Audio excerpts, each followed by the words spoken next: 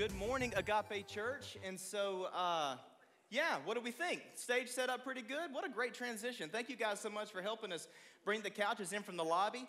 If you were outside in the lobby sitting on the couches, we're sorry to take your seat, but we have plenty in here. And so that is uh, that's good. So we're glad to have you guys with us. So, um, before we get started, I want to introduce to you all our panel for this morning. We're excited about this. So we'll start over here. We have our campus pastors, Jeff and Kim Gwinnett. Round of applause for them. Now, Jeff and Kim, you guys have been campus pastors for a few months now. Yeah? Good. Everything, everything's going, you know, great, right? It's just no expectations through the roof.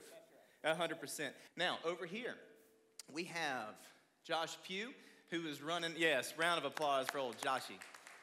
Now, look, you got to be careful with Josh because every two or three years he actually cuts his hair, and you will have an, and then you'll be mistaken in the lobby, and you're like, "Hi, welcome to Agape Church. Who are you?" It's me. All right, and we have Becky uh, Hooper, one of our OGs here at Agape.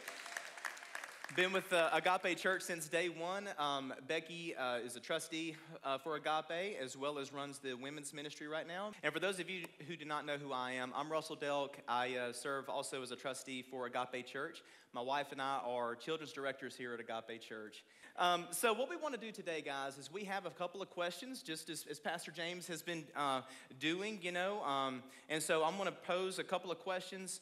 The first question is actually for everyone. Okay? So the question is is how do you recognize the voice of God or the leading of the Holy Spirit in your life and decision making? I'd say um, for me, the main way that I'm led by the Spirit or I know it's the Lord speaking is my flesh will initially try to like react. And so it would be a situation, whether it's the Lord calling me to speak to someone, whether it's the Lord giving me direction for something, um, my flesh will initially try to like be like, no, don't do that don't. Uh, that's not that's not what you need to do. And when I know that little sense of uncomfortableness is that walking out in the water moment where it's like, oh, I don't want to go out there. I don't I don't I don't want to do that. And yeah. I'm I'm generally uh, there's a lot kind of going on in my life. Like there's a lot of places to be, a lot of things that are on my mind. And it's always kind of like Kim's talking about, just this peaceful voice is just like, hey, do this. And I'm like, oh, I know what that is. Um, so generally, it's just it's that. Yeah, excellent, excellent. Thank you, guys. Okay, so for the second question, um, and I'll and I'll start this one. But when did you recognize that God was calling you to serve in a leadership role, and what steps did you take to act on what you were feeling? Um, so for me, it was several years ago. I just started Agape, uh, coming to Agape Church, and I started coming to Agape Church in 2012, and then I got involved in, in the Agape Kids ministry, just serving.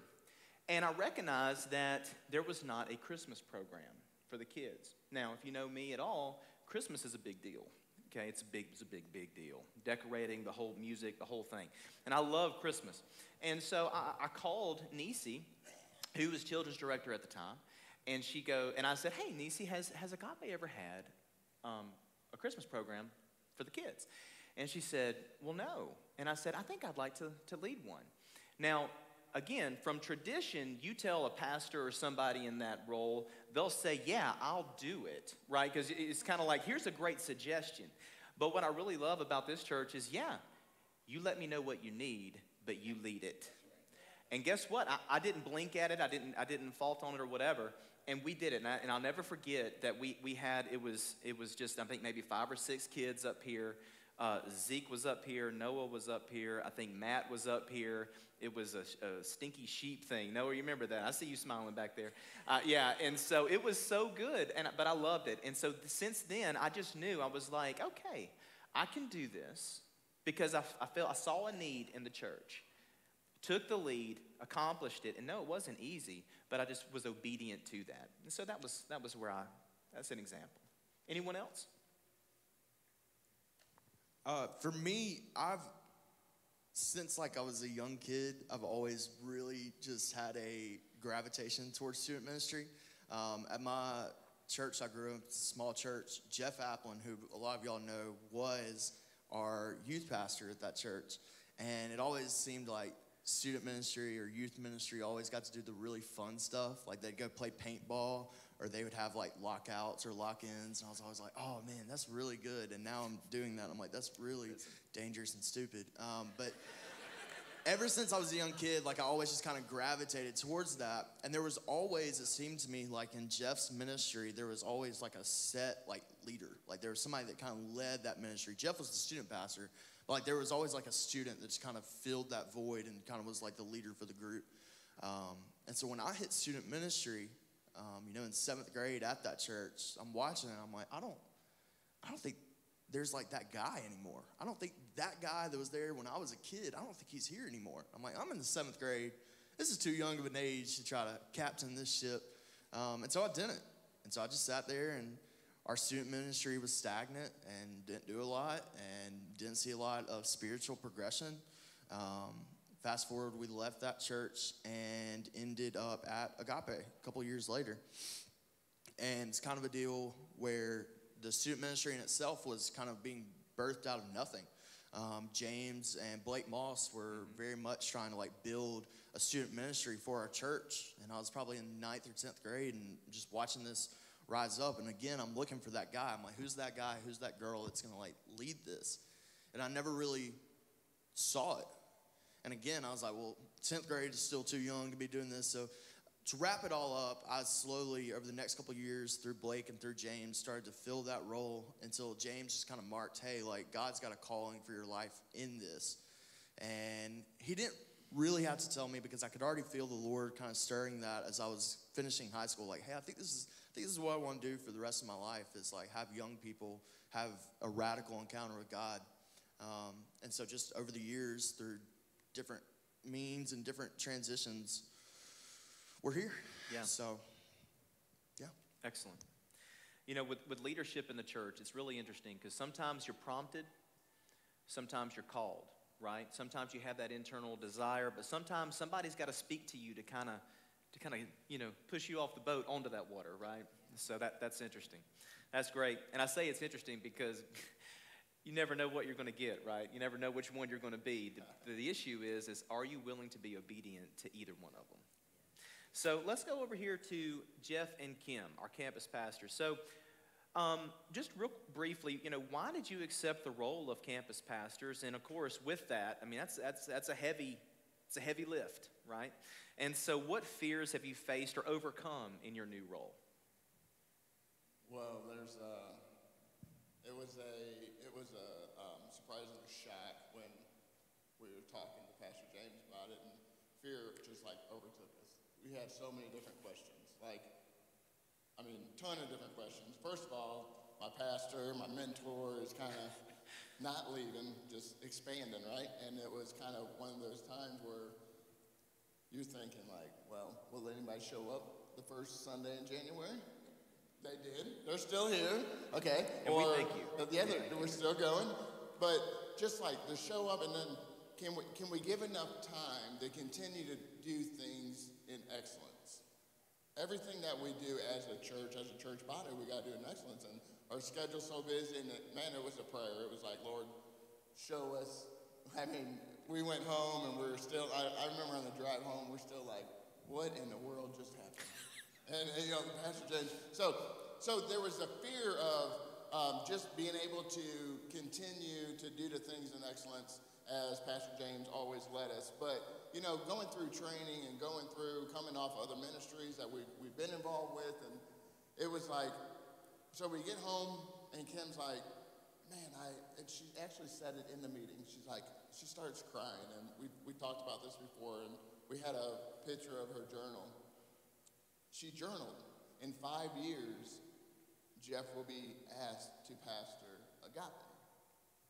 Five years ago. And I don't know if, if you wasn't here, we had a, a picture of it, and it was in 2018, correct? It was in 2018, and we get, got asked in 2023. Hmm. How detailed our God is. And, and, the, and, and it comes down to that Kim was obedient to the Holy Spirit, as we talked earlier, and she journaled it.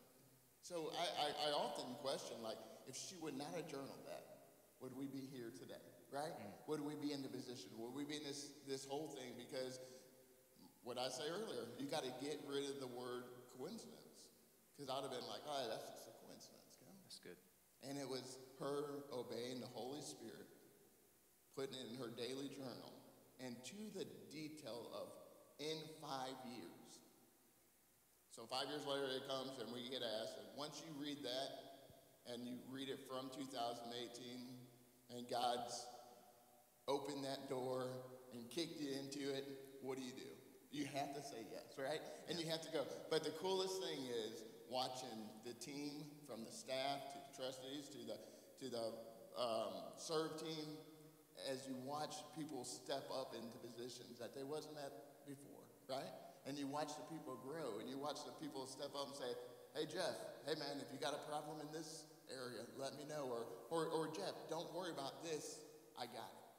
It's been really cool to watch um, just their growth. I mean, being campus pastor is great, and we do, but it takes a whole, the serve team is amazing here at Agape Church, and I really commend each and every one of you that stepped up to, to make this thing happen. That's great.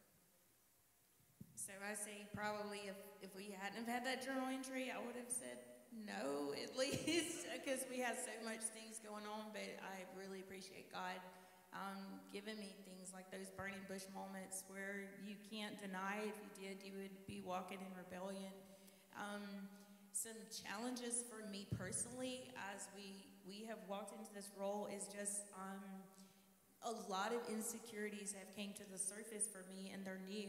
Um, I love Joyce Meyer. She, she says a lot, new level is new devil and um, recognizing insecurities. I mean, first and foremost, I'm a female. You know, a female pastor is, and that's different for me. That's new. You know, and and that's came up to the surface since since um, we have filled this role, and that's hard because, like, I guess just finding my roots in in because people question and people say stupid things and people say you know whether they're saying it to my face or not i know those things you can feel it. But just finding my confidence in the word and being able to go okay here is scripture that this woman was an apostle and that this woman was a prophet and that this woman was a pastor and knowing that and be able to face that insecurity in the eye and say no hell you're a liar you know? But it was a direct attack on my identity um, and that that has been a challenge for me.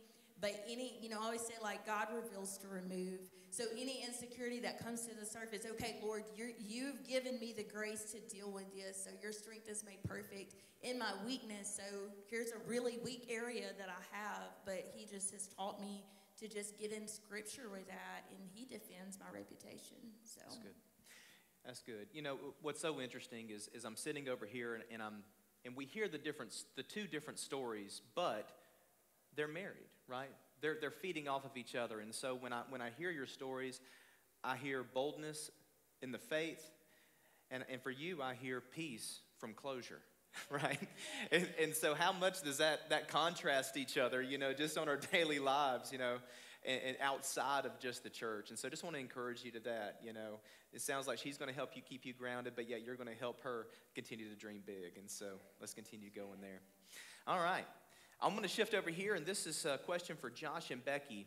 And so the question is this is how do you find fulfillment in God as a single person, especially when you want to be in a relationship?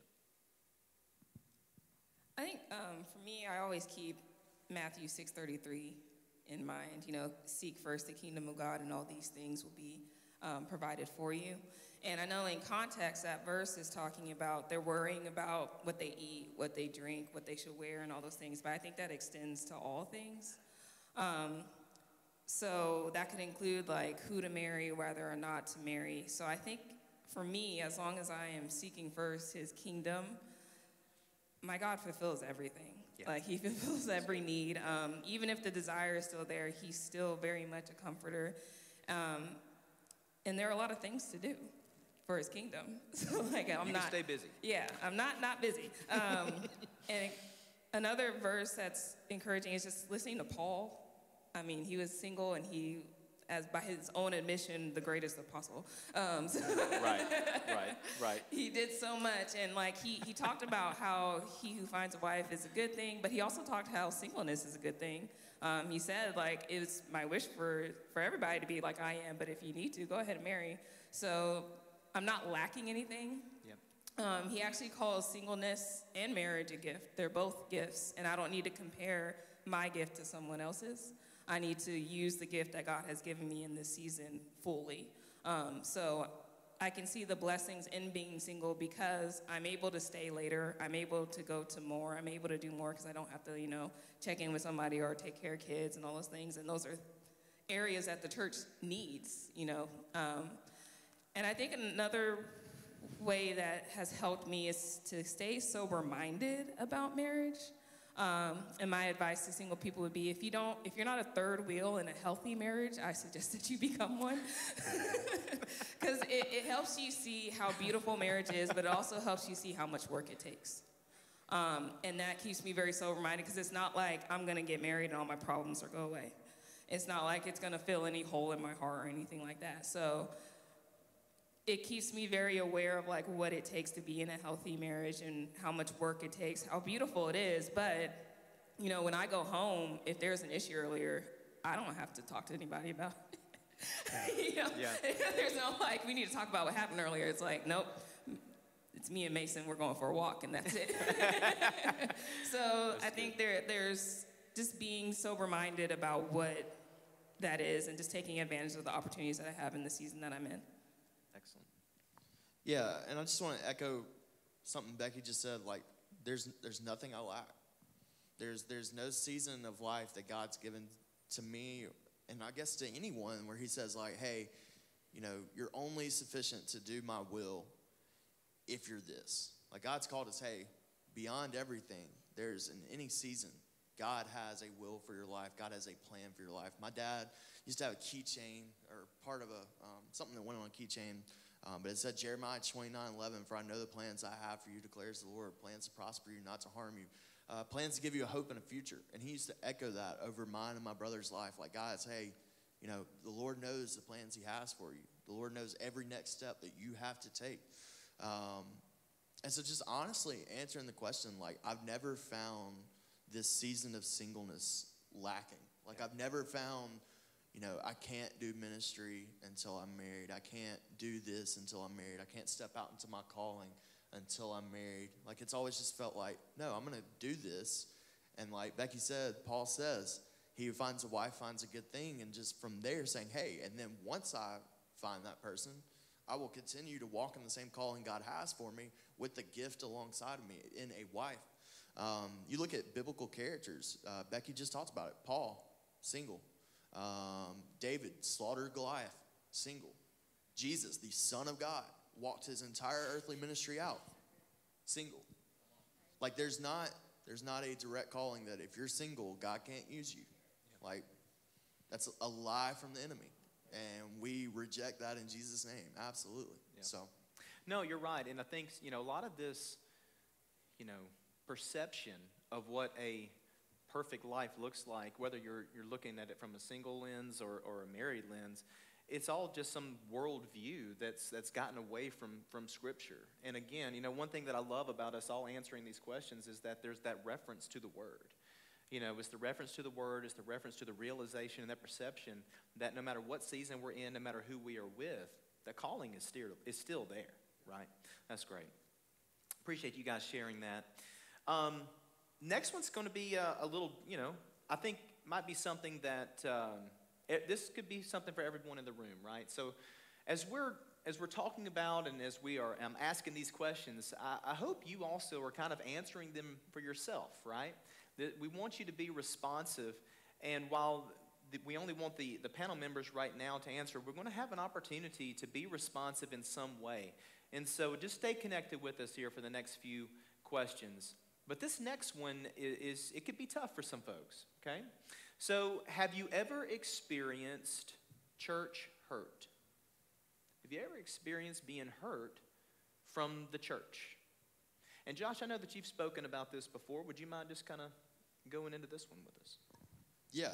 Um, so, as many of you know, as I've talked about a couple times here from a platform or maybe just in small groups, um, the way I found myself to agape was through church hurt.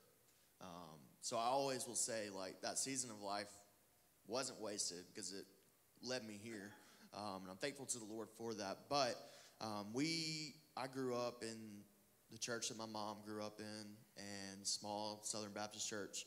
And I'm thankful for those years in the church. It's taught me a lot through my Christian walk.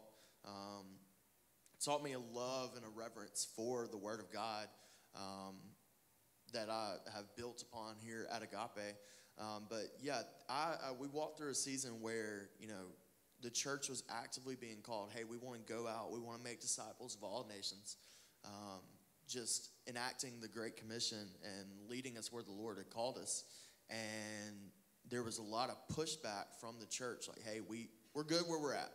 You know, yeah. we've always been a small church, always kept it this size. More specifically, always kept it a certain color. Um, and so we started to push back against that. And we're like, hey, this is, this is absolutely not scriptural. This is against the Word of God. And we were just met with, hey, you know, this is how it's always been. This is how it's always going to be. Well, thank God for Carlin and Kelly Pugh said, no, this is not how it's always going to be. Um, and so we left, and it just, it, it, hurt for the longest time. And for so many, even my first couple of years at Agape, I lived in kind of just this, um, this hurt, this, had this bitterness for the specific, like, traditional church um, for even, I'll be honest, even for like Southern Baptist churches, I was like, this is how they all are. Every church is like this. They, every single one of them have this idea. They have this way of thinking. And again, that's a lie from the enemy used to divide and to divide the body of Christ. And so it was here that I found, you know, not all people are like that. Never once did James get up here and say, hey, I just want to let you know Southern Baptist people are not bad people. But it was through him opening the word and us having community with other churches in our area that we learned, like, hey, you know, that's that's absolutely a lie from the enemy, used to divide. Yeah. Um, so just I would encourage, even in that, you know, if there is church hurt, and I believe it's absolutely valid.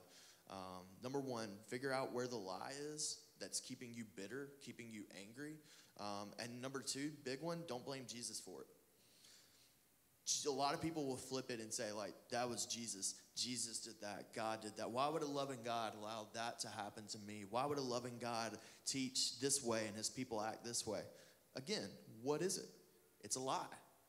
It's absolutely a lie. And so i would number one remove that number two don't blame jesus for it that's good thank you josh i know personally i, I too have had an experience with church hurt i was at a uh, another traditional you know, church, very, very strong in, um, in the tradition, religious aspects of it. And it was, a, but the thing about it, it was a great church, right? It, again, you can't label all of, you know, Southern Baptist churches, uh, well, they're all like this, right? There was some great aspects of it. But I was also involved in the, in the, with the students and the, and the kids at that time. And we had a vacation Bible school. And we invited it was a tradition. It was a white church. Let's just call it what it was. It was a white church. We invited some black kids to it. All right. Lot, half the church did not like that. But you know what we did? We kept inviting them to church, and that they didn't like that either. And then they wanted to sing in the choir, and so we let them sing in the choir. And well, it, it was awesome until it wasn't. It was awesome until it wasn't. And then, you know, at that time, what, what happened was there was just some behind the scenes meetings, you know. And then all of a sudden there's rumblings, and then it's the pastor's fault, you know, and then it's the deacon's fault, or the deacon is, it's, it's an uprising, you know. And I'll never forget, I was at this meeting. It was a, they called a meeting on a Sunday night or a midweek night, I can't remember. And, and we got up, and people made arguments for or against and the ones who brought the word and the ones who gave biblical examples were the ones that were completely dismissed. And I was, I, I remember thinking, I was like, this is, this is not right. This is not what it's supposed to look like. It's not what it's supposed to be. And that, that has always stuck with me. You know, and I was mad, but then I was remembering, you know, anger is only a secondary emotion. Let's remember that. Okay, you're angry because of something, and I was angry because I, I, I was just disappointed. You know, the expectations had shifted and changed. And so if that's you today, I just want you just to be thinking about that because that's that that's very real for a lot of people, right? But there's freedom in the word. And I remember coming to my first Sunday at Agape Church. I was invited by Becky, and I sat right over there, and James was doing the Ask the Pastor series. And I remember thinking to myself, man, if a pastor is willing to hear from the congregation and actually preach from what is actually on their minds, instead of taking this stance of, I will tell you what to think, whew, man, there's some freedom there. There's some freedom there. All right.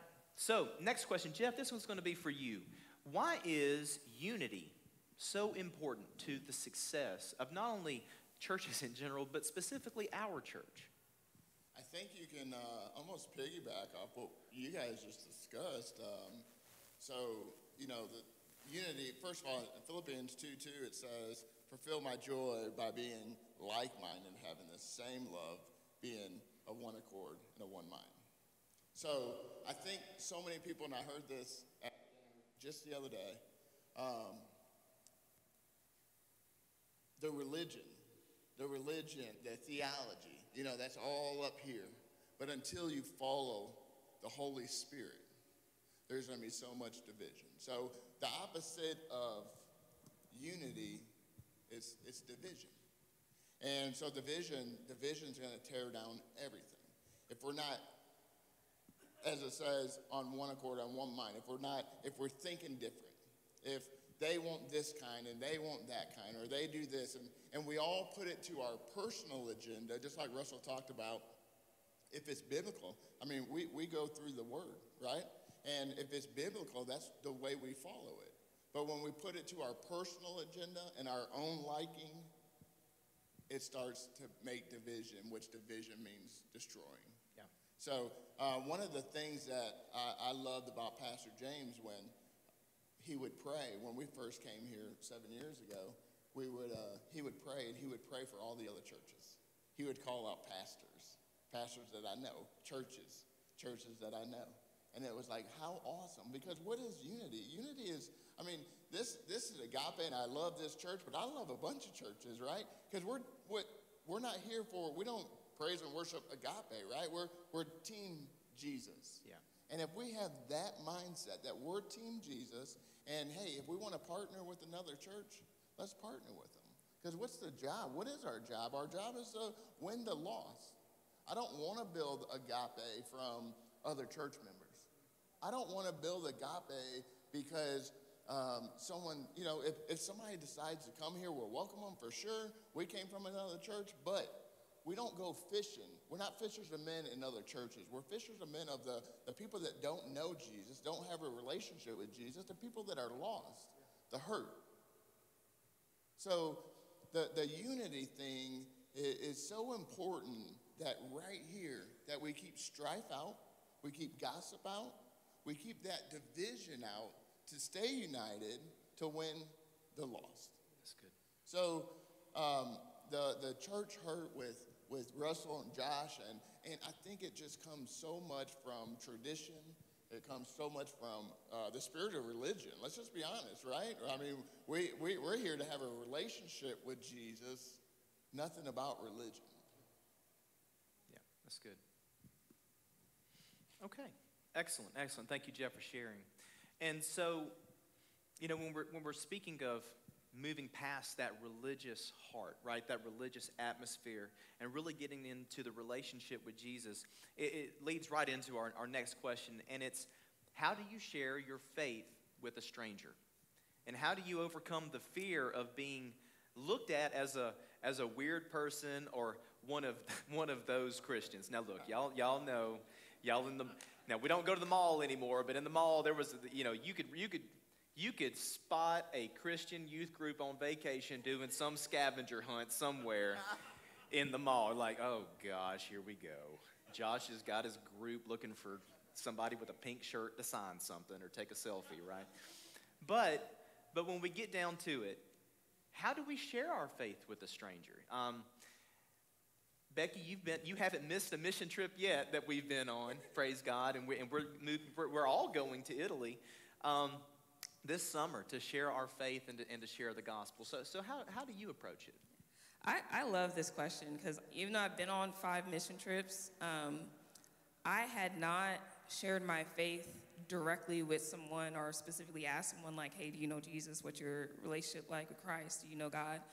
until that first one in Germany. Yeah. And I was 31 years old. Mm-hmm. And I was like, man, if I had been, you know, Micah went with us last year. If I had been her age and started from there sharing the gospel, like, oh my gosh, what a force. Mm-hmm. Like, if we could start our kids off earlier to sharing that, that'll be huge. And I think it starts with just looking at yourself. And I mean, practically, um, I can share what we do in our mission trip training. We start with God, we talk about sin, we talk about Jesus, repentance, and you had faith in there for a little razzle dazzle. Um, but uh, I think um, if you can hit on those key points, you can share the gospel, and I think your testimony is what makes that real to someone. Because we can all say, you know, there's a God that created me. I sin. He sent his son, Jesus Christ, to save me from my sin. I have turned away from the ways of the world and I turned towards Jesus and I have faith that I will live forever with him. And the details of your story are what's going to make that connect with someone right. and what's going to make them see that it's real. I mean, Agape Kids does this with ABCs admit, believe, and commit. Mm-hmm. Um, and in that way, you can share it practically. Now, for the other part, as far as not looking weird, um, I don't have any advice on how not to look weird because you're just going to be weird. My yeah. advice is just embrace the weird. Right. And some, when we go on mission trips and I go up to people, I do is like, can I ask you a weird question? Can I ask you something that's going to make you uncomfortable? Um, and I just start with that because I already know um, it's going to get weird, but in the best way possible. And one of the guys that leads our, our mission trips when we went with European Initiative, he would say, I don't care how uncomfortable I make them, I'm having the most important conversation they will ever have in their entire life. Yeah. Like when we really think about what's on the line, I don't care how uncomfortable I am. And part of that is just one being having the fear of the Lord greater than the fear of man. And by fear of the Lord, I mean like your reverence for him, your gratefulness to him for what he's done for you. And I mean, if we had a friend, or if we had a stranger that was walking towards the edge of the cliff, I wouldn't care how weird I looked to people yelling and screaming for them to stop. Yeah. I'm trying to save their life. That's right. Um, now, I'm not doing the saving Jesus is, but through a little conversation, their whole world could change, and that's worth it. Mm-hmm. That's worth it. If, I, if people are going to call me the weird, don't, you know, don't go to her, she's going to talk to you about Jesus, then good. Yeah. Like that. because when they get into a real situation in life, who are they going to come and find? The person who's been talking about Jesus. Right. The person who has been sharing the faith. The person who is exuding what it means to have a radical transformation from Jesus Christ in their life when something real happens. So I say all that to say just like it, it's worth it to be uncomfortable. It's worth it. And it, it's not easy. Like even on when we go now, like I have to like tell myself like, I know I'm tired. I don't want to do this. But Holy Spirit, please give me the strength and just give me the words to say. Um, you don't have to be a theologian, you don't have to have gone to seminary. You just need to have a relationship with Christ. Yeah. Excellent. Excellent. Anyone? In the book, uh, Acts 1 8 says, But you shall receive power when the Holy Spirit has come upon you, and you shall be a witness to me all the ends of the earth. Our job is to be witnesses, right? Our job is to be, that's, that's in red letters, that's Jesus telling us. And like it comes that you just have to go with boldness. Uh, is it hard? Is it different? Sure, but you just got to get over that and to just go in boldness to be that guy, to be like Becky um, killed it. Like you're saving lives through Jesus Christ, but you, like you're a lifesaver through Jesus Christ. And the and the weird part, strange part, we'll call it. You know, we don't care to be weird of the world, right? And we don't care to whatever that looks like. It's like we Todd White said that we feast on the world and we just want to taste test Jesus. It's so powerful. Like we're so worried about what everyone thinks and says. But there's an eternity that we have to live. And there's a there's a thing that like that I don't want to just be a taste tester of Jesus and give all my life to the world. Right? So we're okay with with going all out in the world. Just the people, not not me, not us, but like just the, the people is just like, it's okay. We'll just be part of it. It's scripture that we're not going to be part of this world, right? We we don't do that. We're it's it's um, that we, we, we give so much. So if, if we call if we're called weird, if we're called strange, if we're whatever it is, I'm like Becky said, I'm okay with that. I'm okay with with that happening because hey, my Lord has given me more than I've ever been worthy of. So I, I, think that we just go into it, and I think that we just say we accept it because I want. I, I, would, I like to look at it like if Jesus walked into the capital C church. Yep. Think about it, guys. Think about what the, the church hurt that Russell and Josh just talked about. If Jesus walked into the church, how would he be looked at? Strange. Unfortunately, I believe that. I believe that he would be looked at different. Like, man, what do you, who is this? What's this in here for? Right? So I just believe, hey, if it's weird, if it's strange, it's boldness that we know what we're doing, it's biblical, and we keep on doing what we're doing. That's good, Jeff. Thank you. Um, you know, a thing about it too, when you're sharing your faith, is everybody thinks that you have to be a preacher. I feel like everybody thinks that you've got to have, like you say, a doctorate in preaching or, or some seminary thing, but you don't. You have your story, you have your favorite Bible verse, you know, or something like that. You've got, you know, throw them some word, throw them some love, and just talk with people. Just talk with people. Um, you know, we're going through our our practice right now. You know, just getting ready for for Italy, and the first thing we we did was, as we said, okay, tell me everything that's good that's happened in your life. Just just the highlights. You know, just that three thousand foot view. Let's just let's just hear it. And they listened. And I said, and I said, well, tell me all the bad things now. You know, and of course that line is a lot longer. You know, everybody love misery loves company, right? But then one of them said, I think it was you, who said, But I see where a bad thing correlated to a good thing. That is a testimony moment. And that story is something that someone needs to be heard. And I don't care if it's in Italy, I don't care if it's in Kenya, Prague, Budapest, Spain, Madrid, or Germany, or any other member of the EU. It could also be someone in this room or at a, during a small group or someone out on the streets visiting Laurel, Mississippi. So, again, like we've talked about, when we're talking about sharing our faith, you got to listen to the Holy Spirit. That prompting, that physical urge, that physical just something, heart starts beating fast, palm, sweaty palms, whatever, wipe them off before you shake their hand, you know? But just act. Just act. Thank you guys for sharing that. Uh, okay, and so for our last question, I'd like to start with Kim here. And so this is a tough one. And so again, um, let's just let's just dive in. So, how do you deal with sin in your personal relationship with the Lord, and how long does it take to you for you to recover from a spiritual failure, if you want to label it like that? This is the one that no one wants to talk about, right? Um, guys, I've been I've been living for the Lord since 2006, and I've messed up so many times. Um, prideful, watch pride in your life because the word says that pride comes before a fall, and I have fallen so many times. Um, but sin is alive. And um, scripture tells us in James 1 13 through 15 that when desire gives birth, that that's when sin is born. And that that sin then it grows. And so that tells me that if sin can grow, that it is alive. And what you feed is what's going to grow. So I say that that you know if we have, I guess an analogy would be you know if I cut the circulation off of my wrist and I kept it, I kept it completely just where there was no blood flow to that, what would happen? Eventually my hand would fall off. However, if I cut the circulation off of my wrist, and then I was uncomfortable for a few days or even a week, and I, I gave circuit, I gave life back to it, and then I decided, you know what, I, I really don't want this anymore, so so I tightened the circuit, and I, I just did not give it in, but the whole time I'm just miserable.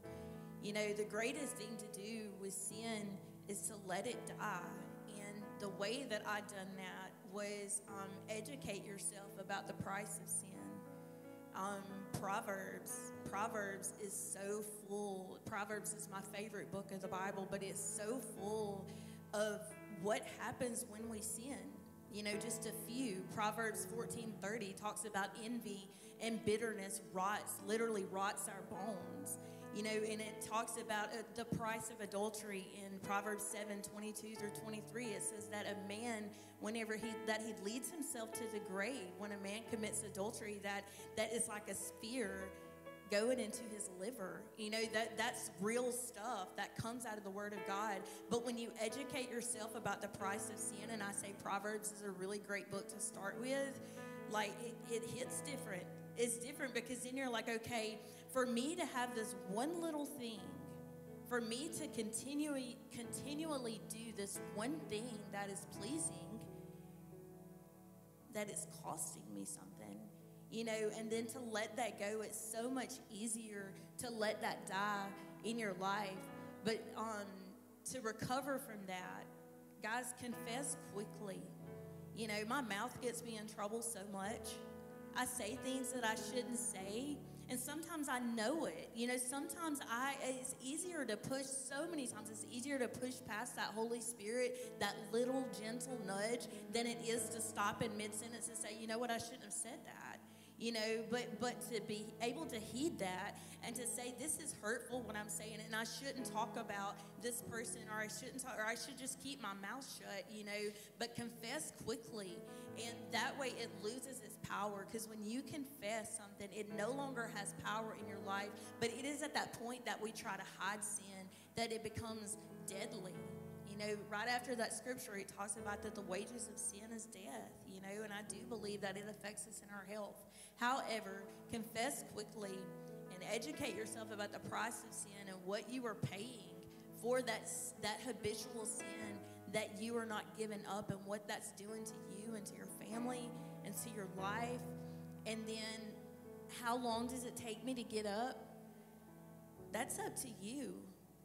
that's that's up to you and, and like be able to recognize that whenever I confess something when you confess something, okay, Lord, forgive me for saying this. It doesn't matter how great or how small it feels. When you confess that, it loses its power. Anything past that is guilt and condemnation. And the word says that there is no condemnation in Christ, so that He cast our sin as far as the east is from the west. So literally, you're beating yourself up about something that God does not even remember. Like He is, He doesn't know what you're talking about. Like you're doing that to yourself. So how long does it take you to get up from? Confess it. If you need to go to someone and make it right, do that. But then past that is just get up get up from it. Like, don't let that guilt and that shame speak or take from you any longer. That's good.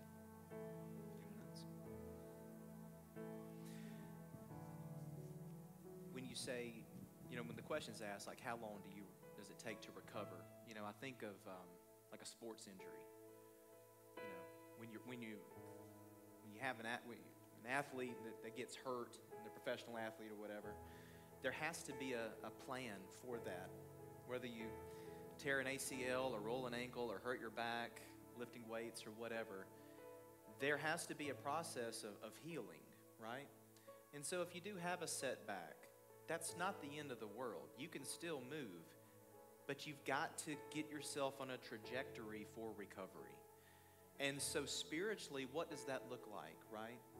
That's praying, that's getting into the Word, that's, that's seeking help from other people, finding freedom in the spoken word. It's, it's finding that, that brother or sister that you know has got your back, that's willing to confess, and, and just kind of be that accountability partner for you. And so, as we finish up today, Um, uh, what I'm going to do is, first off, thank you so much, panel, for for answering the questions.